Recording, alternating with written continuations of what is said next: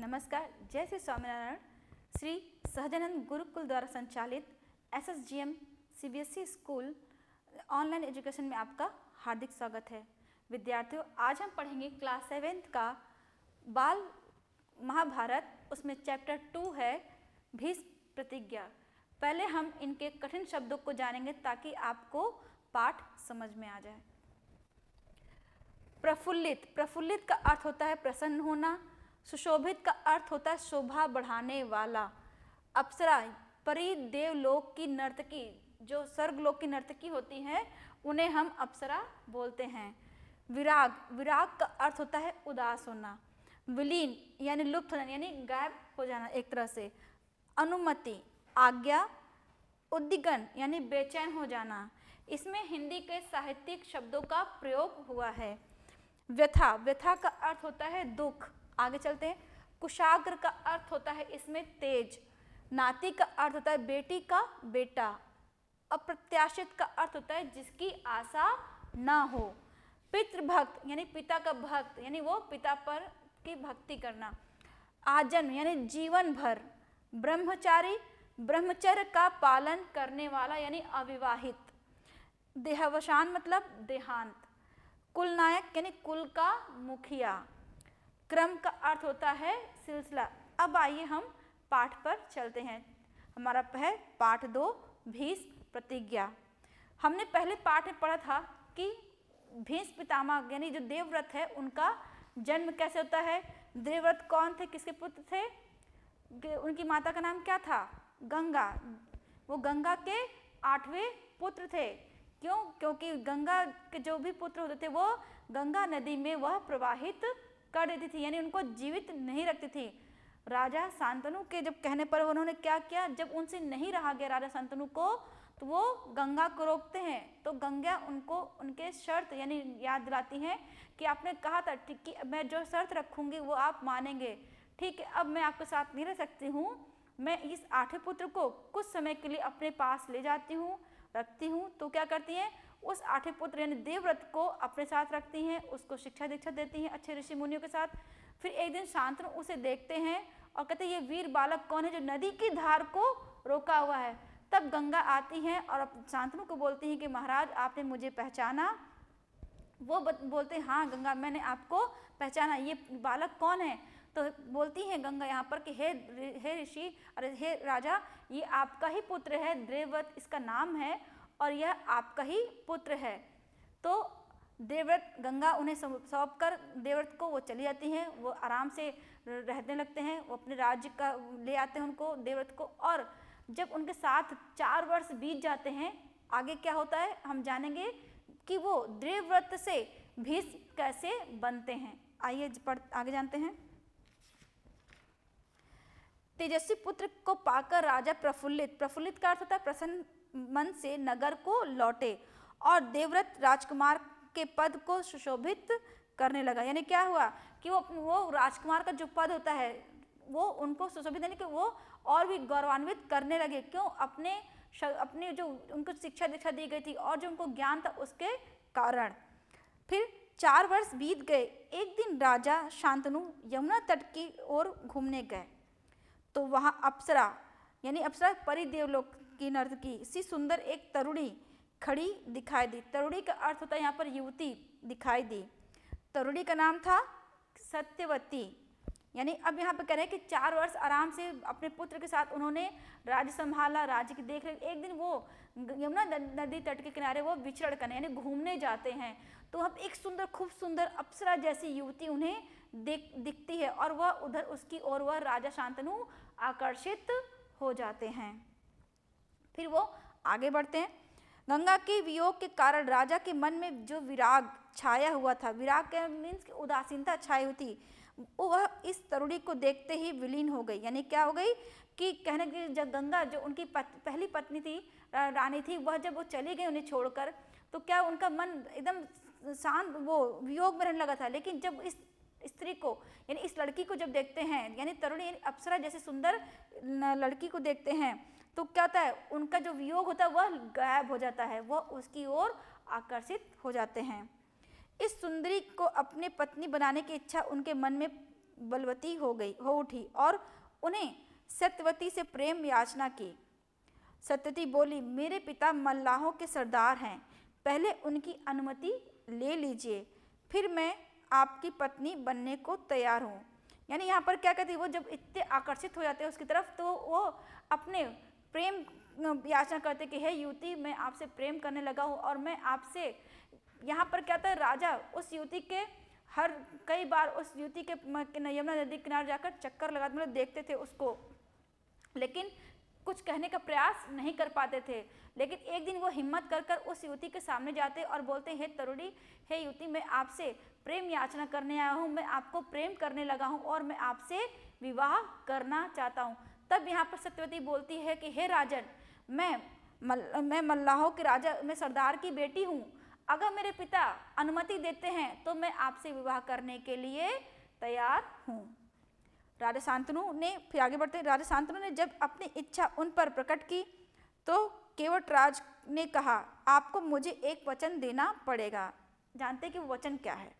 राजा ने कहा जो मांगोगे दूँगा यदि वह मेरे लिए अनुचित न हो यहाँ पर राजा जो सत्य सॉरी सत्यवती के जो पिताजी होते हैं, राजा ये केवटों के राजा तो बोलते हैं कि मैं आपसे एक वचन चाहता हूँ। तो यहाँ पर शांतनु बोलते हैं, मैं वचन देने को तैयार हूँ, जो आप बोलोगे, बोलेंगे मैं करूँगा, लेकिन वह अनुचित ना हो। मतलब वचन तो दूँगा, अगर अनुचित हुआ तो मैं वह वचन नहीं मानूँगा।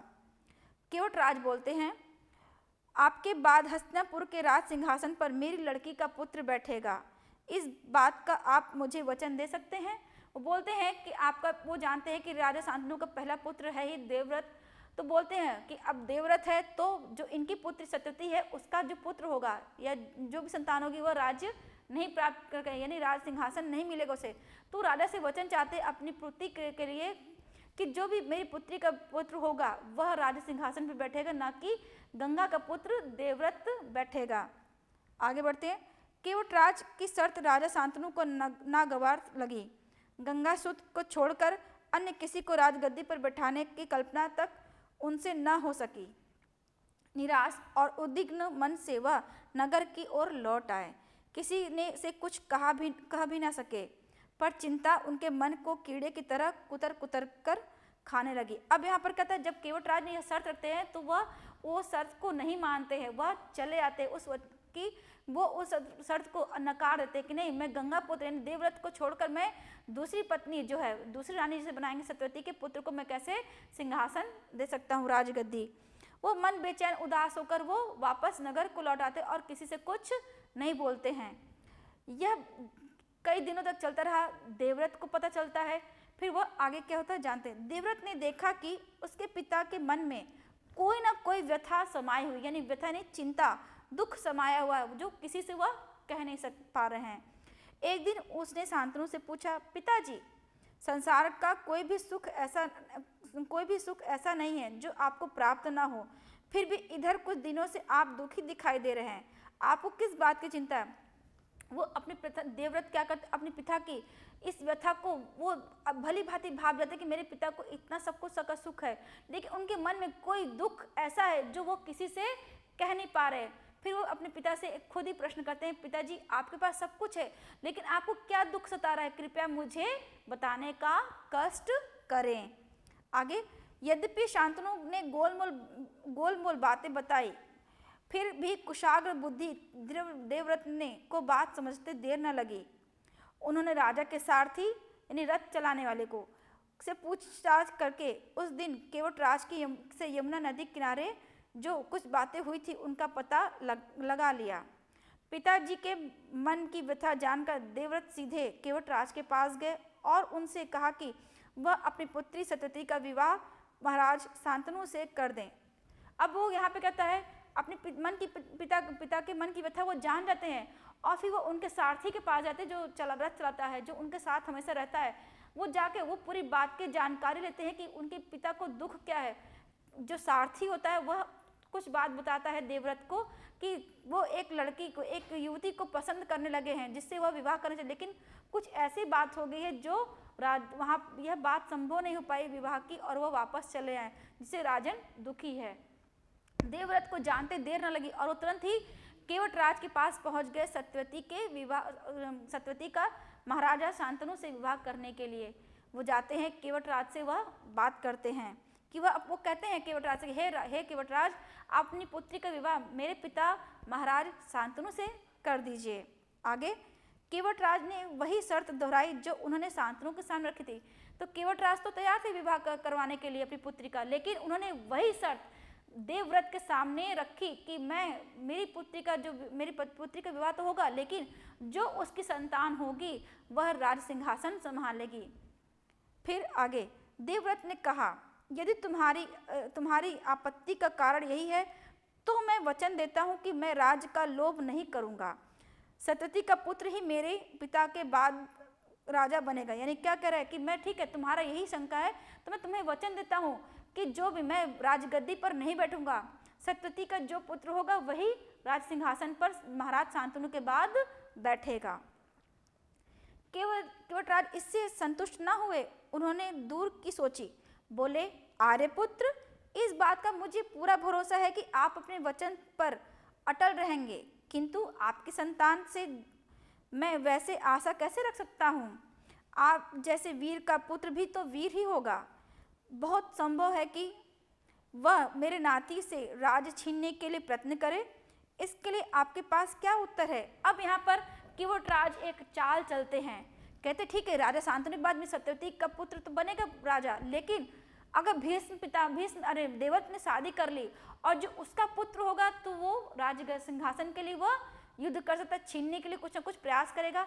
तो यहाँ पर वो एक और चाल चलते हैं कि, हे, ठीक है, आपने देवव्रत वचन दिया, मैं उसका मानता हूँ, लेकिन मान लीजिए आपके विवाह के बाद आपका पुत्र होगा, वो तो राज्य के लिए झगड़ा करेगा इसलिए वो बोले कि मैं कैसे मान लूँ कि वह राज्य, आपका जो पुत्र होगा, जो भी संतान होगी, वह, आप तो यशस्वी हैं हर विद्या में निपुण है, आपकी संतान भी वैसे होगी। अगर मान लीजिए बाई चांस वो राजगद्दी छीनने के लिए वो युद्ध करे तो अब हम जानते हैं कि आगे भीष्म पिताम देवव्रत क्या जवाब देते हैं।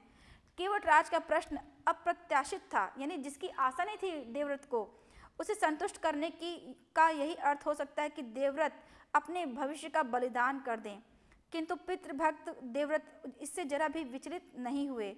गंभीर स्वर में उन्होंने यह कहा, मैं जीवन भर विवाह नहीं करूँगा। आजन ब्रह्मचारी रहूँगा। मेरी संतान ही न होगी। अब तो तुम संतुष्ट हो। अब वहाँ पर जब केवटराज ये चाल चलते हैं तो देवव्रत क्या करते हैं? बिना सोचे वो पितृभक्त होते हैं। वो पिता के को एकदम अपना ईश्वर मानते थे। तो वो क्या करते थे? वो बिना कुछ सोचे ही वो बोलते, ठीक है, मैं आजीवन ब्रह्मचारी रहूँगा, यानी विवाह नहीं करूँगा। वो उनको पूरी तरह से केवटराज को आश्वासन देते हैं कि अगर मैं विवाह नहीं करूँगा तो उनके पुत्र नहीं होंगे। तो अब आपके पुत्री का जो पुत्र होगा, उससे राजगद्दी छीनने का भी डर आपके मन से निकल गया होगा। वो बिना विचलित हुए, बिना कुछ सोचे, वो आजीवन प्रतिज्ञा कर लेते कि वह विवाह नहीं करे, वो जीवन भर ब्रह्मचारी रहेंगे। अब यहाँ पे ही देवव्रत ब्रह्मचारी बनते हैं तो अब उनको लोग भीष्म नाम देते हैं। किसी को आशा न थी कि तरुण कुमार ऐसी कठोर प्रतिज्ञा करेंगे। देवव्रत ने भयंकर प्रतिज्ञा की थी इसलिए उस दिन से उनका नाम ही भीष्म पड़ गया। देखिए कितनी बात यहाँ पे सही हुई कि जब उन्होंने बिना सोचे समझे प्रतिज्ञा तब उन्होंने क्या ब्रह्मचारी को उन, जो बना उन्होंने प्रतिज्ञा कि मैं जीवन भर ब्रह्मचारी रहूँगा तो वहाँ पे उनको क्या नाम दिया गया? भीष्म। ठीक है? केवट राज ने सानद अपनी पुत्री को देवव्रत के साथ विदा कर दिया। यानी क्या किया कि वो अपनी पुत्री को देवव्रत के साथ भेज देते हैं विवाह के लिए। सतवती से शांतनु के दो पुत्र हुए, चिंद्रांगद और विचित्र वीर। शांतनु के देहवासान देहवसान के बाद, यानी उनकी मृत्यु के बाद चिंद्रांग सॉरी चित्रांगद हस्तिनापुर के सिंहासन पर बैठे और उनके युद्ध में मारे जाने पर विचित्र वीर राजा बनते हैं। फिर विचित्र वीर की दो पत्नियाँ होती हैं, अंबिका और अंबालिका। अंबिका के पुत्र थे धृष्टराष्ट्र और अंबालिका के पांडु। धृष्टराष्ट्र के पुत्र कौरव कहलाए और पांडवों के पांडवों के पांडव। महात्मा भीष्म शांतनु के बाद से कुरुक्षेत्र युद्ध का अंत होने तक उस विशाल राजवंश के सामान्य कुल नायक, यानी कुल के मुखिया के रूप में और पूज्य बने रहे। शांतनु के बाद कुल वंश का क्रम यह रह गया। यानी यहाँ पे क्या वो जब प्रतिज्ञा कर लेते हैं, केवटराज अपनी पुत्री को देवव्रत के साथ भेजते हैं। देवव्रत साथ, फिर सत्यवती आती है। सत्यवती का विवाह शांत महाराजा शांतनु से होता है और सत्यवती के दो पुत्र होते हैं। कौन कौन से? चंद्रांगद और विचित्रवीर। विचित्रवीर क्या होता है? सिंहासन पर बैठता है, लेकिन युद्ध के दौरान उसकी मृत्यु होती है और उसके बाद कौन राजा बनता है? विचित्रवीर बनता है। विचित्रवीर की भी शादी होती है उनके दो पुत्र होते हैं धृतराष्ट्र और पांडु। तो धृतराष्ट्र के सौ पुत्र होते और पांडु के पाँच। धृतराष्ट्र फिर कहते हैं, जब पांडु होते हैं, उनकी मृत्यु हो जाती है। मृत्यु होने के बाद धृतराष्ट्र राज सिंहासन संभालते हैं। अब हम अगले वीडियो में पढ़ेंगे भीष्म अम्बा और भीष्म। कि अम्बा और भीष्म के टकराव कैसे होते हैं? विद्यार्थी एक बार शब्दार्थ फिर से देख लें।